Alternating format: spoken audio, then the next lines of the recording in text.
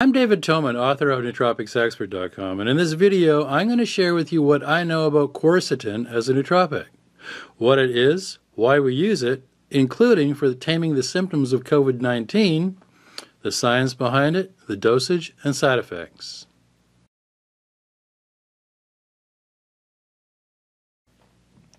Quercetin is one of the most abundant flavonoids present in over 20 plant and fruit categories. Quercetin is known for its anti-inflammatory properties.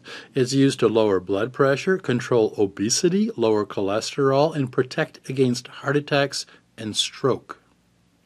The name quercetin comes from the Latin word quercetum, which means oak forest. Quercetin is yellow in color and is poorly soluble in hot or cold water, but it's easily soluble in alcohol and fats.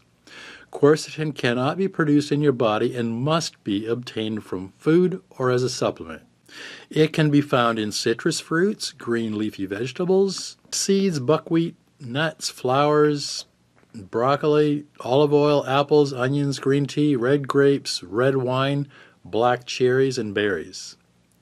Quercetin is one of the most popularly used bioflavonoids in the treatment of metabolic and inflammatory disorders hundreds of in vitro and animal studies and a few human studies have been conducted to study the effects of quercetin.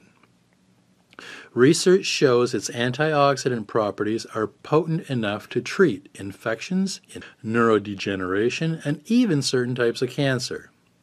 Quercetin has recently been found to be beneficial in reducing the symptoms of COVID 19.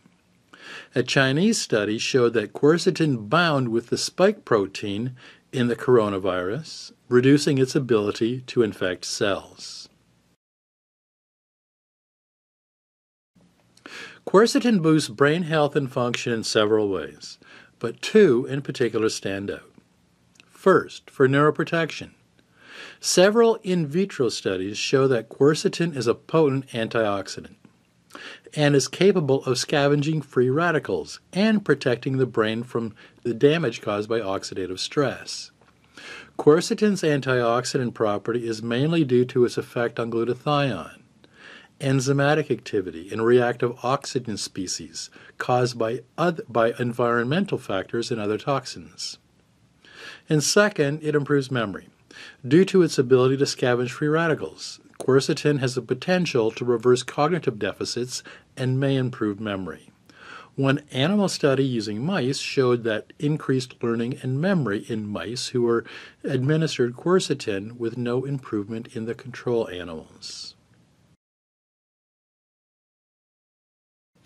Quercetin has the unique ability to increase Claudin 4, which seals tight junctions in sealing a leaky gut or leaky blood brain barrier. Quercetin is a potent antioxidant and may protect your brain from oxidative stress. In 2014, scientists administered quercetin to rats within 48 hours of the animals suffering a brain edema. The studies showed that high dose of quercetin administered 48 hours after the stroke helped reverse neurobehavioral deficits that were the result of a brain edema, which is swelling due to a fluid buildup including a significant reduction in oxidative stress and a reduction in cellular apoptosis. Quercetin protects the brain against toxins by activating the brain's natural immune system. Another study in 2013 was conducted to deduce the effect of quercetin on lead toxicity. And it showed that quercetin significantly prevented lead induced neurotoxicity and oxidative stress. And studies with animals also demonstrated quercetin's ability to help preserve brain activity in neurodegenerative diseases like Parkinson's and Alzheimer's. These studies show that quercetin has a therapeutic potential because it can inhibit AB aggregation and tau tangles, and it inhibits acetylcholinesterase, which in turn increases acetylcholine levels. Quercetin may also boost testosterone levels is an enzyme that converts testosterone into testosterone glucuronide, which is then excreted out of your body and through urine. Quercetin has been shown to inhibit this enzyme activity as much as 72%. according to lab studies, which means that supplementing with quercetin as a nootropic may slow down its excretion and boost the levels of testosterone in your blood. Quercetin also inhibits aromatase, which is the enzyme that converts testosterone to estrogen. Some of the most recent comments by quercetin users report a significant reduction in COVID 19 symptoms. Those infected with the virus reported using quercetin with vitamin C, vitamin D, and zinc. Their breathing was easier, and this combination helped them recover faster. And this is beginning to be backed by clinical studies as well. Many neurohackers using quercetin report a dramatic improvement in seasonal allergy symptoms. Others claim quercetin helps reduce muscle soreness after a workout, and arthritis pain is reduced. Many people said using quercetin consistently reduced their cold symptoms faster. Some suffering from allergies say that quercetin is a great alternative to antihistamines without the drowsy side effects caused by these drugs. Overall, quercetin users said that they were able to breathe easier, they experienced less pain, and they had more power and stamina. I've got more research on quercetin over on the original transcript for this video on Nootropics Expert. Just click on the link below this video and it'll take you to the transcript. I've got a study that shows quercetin improves athletic performance. I've got another study that shows quercetin reduces oxidative stress. I've got another study on how quercetin reduces inflammation. And another study that I'm going to detail here, quercetin for COVID 19. Although the research is limited, the few studies that are present on quercetin's ability to reduce the symptoms of the novel coronavirus indicate that it has a significant capability to interfere with the replication of the virus. Quercetin exhibits a wide range of antiviral properties which can intervene in, in every step of the, from the virus entry to its replication to protein assembly. The impact of quercetin can further enhanced through co-administration with vitamin C and zinc.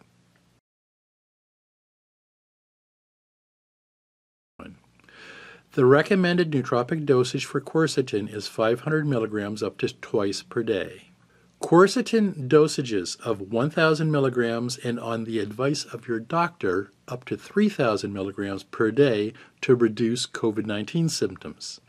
And note that this is a short term use only strategy when you use it at elevated dosages. Your daily intake of quercetin from food in a typical Western diet is estimated somewhere between 0 and 30 milligrams per day. So you're not getting much from food. Quercetin as a supplement has low bioavailability, so it, which means that it does not easily cross the intestinal wall. Poor bioavailability is why many quercetin supplements include other compounds like vitamin C, bromelain, and other digestive enzymes to help boost absorption. A more recent development shows that increased absorption of quercetin when attached to a phospholipid complex made from lecithin called, lecithin called phytosome. Quercetin phytosome, which is patented, has been shown to be 20 times more bioavailable than quercetin on its own. Research also shows quercetin has a synergistic effect when combined with other flavonoid supplements such as resveratrol and catechins. Quercetin is non toxic and is considered well tolerated and safe when used at recommended dosages. Supplementing with more than 1,000 milligrams of, of quercetin per day may lead to symptoms like stomach aches, headaches, and tingling sensations. So, talk to your doctor before taking the supplement if you're pregnant or you're breastfeeding. And quercetin inhibits aromatase. So, if you're being treated for breast cancer, talk to your doctor before supplementing with quercetin. And animal studies show that high doses of quercetin can have a negative effect on sperm quality and sperm counts in males but only coupled with elevated oxidative stress. Now, this hasn't been proven in humans, but it's worth keeping in mind if you're having fertility problems. Quercetin can thin your blood, so it may interfere or amplify the effects of blood thinning medications. And there is some evidence that quercetin could interfere with transplant anti rejection drugs. Now, we have no clinical proof that quercetin is safe for use longer than 12 weeks. The safe of long term use of this supplement is unknown. Quercetin as a nootropic is available in capsules and bags of powder. You'll see several brands offering quercetin with bromelain because adding a digestive enzyme helps its bioavailability. And the latest with quercetin is quercetin phytosome, which is quercetin combined with lecithin derived phospholipids from sunflower to cross the gut barrier more easily. And my preferred form of quercetin and the supplement that we use in this household is from Doublewood Supplements. It's Doublewood Supplements quercetin with bromelain. So my nootropic expert recommendation for quercetin is 500 milligrams up to twice a day. And that's my report on quercetin. If you want to see links to the studies I talked about, go to nootropicsexpert.com and search for quercetin.